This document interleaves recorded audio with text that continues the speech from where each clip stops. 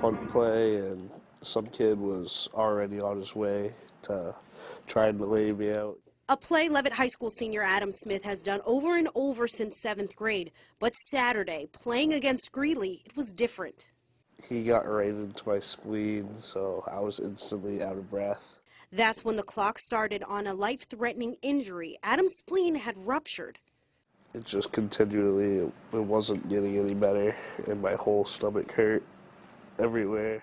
Maine Med's Dr. Kate Quinn was on staff at the game and rushed to check on him after he collapsed twice on the sideline.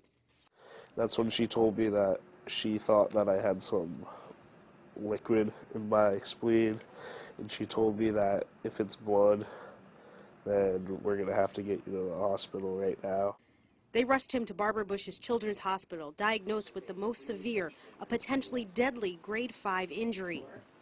I had heard on the phone that he had a, a pretty severe splenic injury and that he was going to be going to surgery. Sue Smith rushed from work in Rumford to Portland and got good news along the way.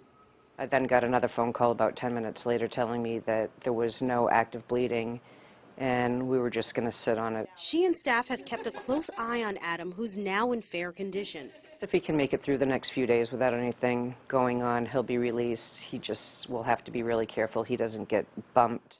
They're happy to be here at the hospital as he recovers with doctors who were at the right place at the right time. I think things could have been a lot different if they hadn't been there.